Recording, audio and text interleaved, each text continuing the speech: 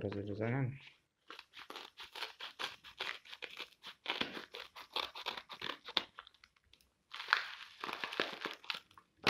Итак, видим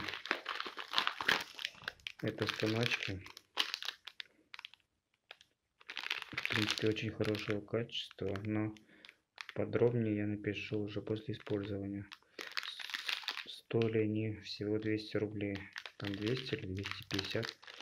Но если покупать их так, я думаю, что они примерно один станок будет 100 рублей. Раз, два, три, четыре, пять, шесть, семь, восемь. Я думаю, это выгодная покупка. Ссылку я поставлю в описании под видео. Подписывайтесь на мой канал, ставьте лайки. Всем спасибо.